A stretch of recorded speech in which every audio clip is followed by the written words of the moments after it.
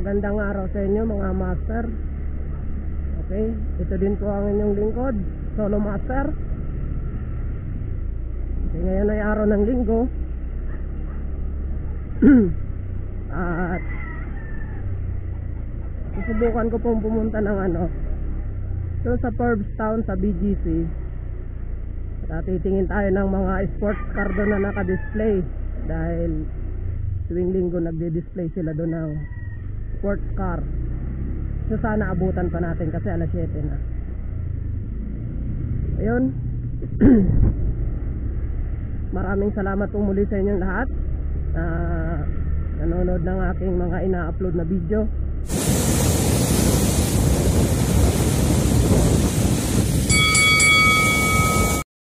Kayo po ay bago lang na nakakapanood ng aking video upload. Ah, Huwag pong kalimutan mag-subscribe, like, at share nyo na din po. At pwede rin po kayo mag-comment. Pwede nyo po akong turuan kung ano yung mga pwede kong ah, i-upload na video para ma-share natin sa iba. Ayan. So, ngayong araw po, ah, ibang ibang ano to, ibang kumbaga ibang episode kasi diba si Solo Master ah nag-focus tayo doon sa pagiging angkas biker ko. Kaya lang ah ayan, sa di inaasahan ah, one week na po almost one week na pong deactivated ang inyong Solo Master. Sa kadahilan ng ah yung pinapatupad na batas ng ating LDFRB, DOTR at ng mga panukala ng ating PWD uh, mga ahensya ng gobyerno na namamahala dun sa pag-aaral tungkol sa motorcycle taxi kung ito ba ay magiging legal. So ngayon nasa pilot run. So isa po ako sa napasama doon sa deactivation na ginawa ni Angkas dahil doon sa ang pinayagan nga lang ni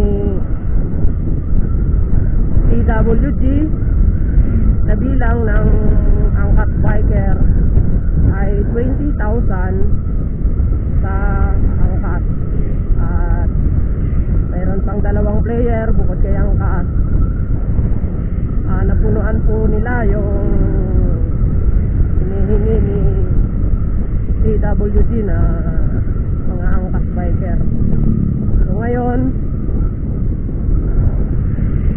ah deactivated po ang inyong solo master. Na nakakalungkot at mukhang sana maibalik tayo sa angkas kasi napakalaking tulong ang nagawa ni angkas para sa akin. So tatlong buwan din po akong naging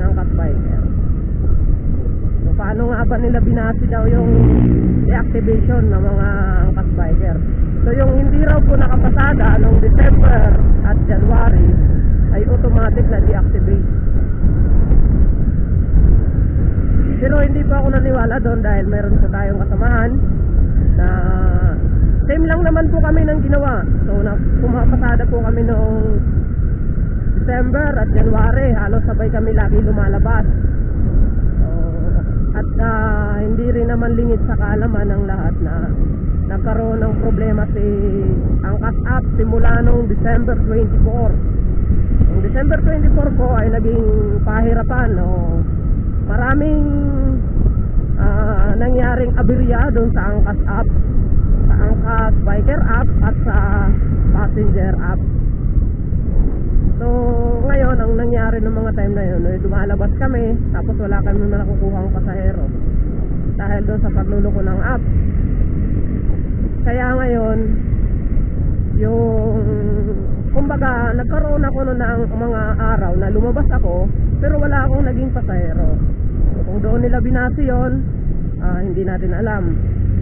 Pero yung sinasabi nilang hindi pumasada ng De- December at January pumasada po ako at kung titignan nyo po yung mga uploads ko makikita nyo naman Oo. lahat ng kasada ko, simula't simula po kay Angkas, unang araw hanggang sa pinakahuli ay naka-upload po lahat. Maliban lang po dun sa mga pangyayaring may aberya na nangyari sa Angkas na hindi ako pumapasada, hindi ko po ina-upload yun kasi ayoko po sanang magdala ng negative vibes doon sa mga uploads ko, no? Kaya kung may mga aberya, may mga issue patungkol kay Angkas at sa ah, ahensya ng gobyerno na nakakasakop sa Angkas o sa ah, transportation, no? Hindi ako nakikisali. Diba? Kasi good vibes sana yung dala ko doon sa pag-upload ko nung ano eh. Yung, alam mo yun, yung walang comment, walang comment, kaya nga hindi rin ako nagsasalita doon. So, talagang pure kuha lang siya na sumakay yung passenger at ibinaba ko. Diba? Ganun lang siya. So, wala kayong makikita doon na ano, na ah, si ganito, may, may issue ganyan. So, hindi po ako nag-upload ng mga ganun kahit na ano. So, may mga caption din doon na hindi magaganda. Ah, nangyayaring hindi maganda minsan. Pero hindi ko po ina-upload yun. So, select, sineselect ko talaga na wala sanang maging ano, puro positive vibes lang sana. So, ito, deactivated ko ang inyong solo master. At almost one week na. Ah, Siyempre, kumina yung kitaan. So, ngayon, ah, linggo, itong video na to ay ah, ito, ah, ipapakita ko lang muna sa inyo yung ano, kasi nag-iisip pa po ako kung ano yung magiging content natin. So sana mayroong tumulong sa akin kung ano ba yung pwedeng maging content natin sa mga video ko. Kasi since deactivated tayo kay Angkas, no? So ngayong araw,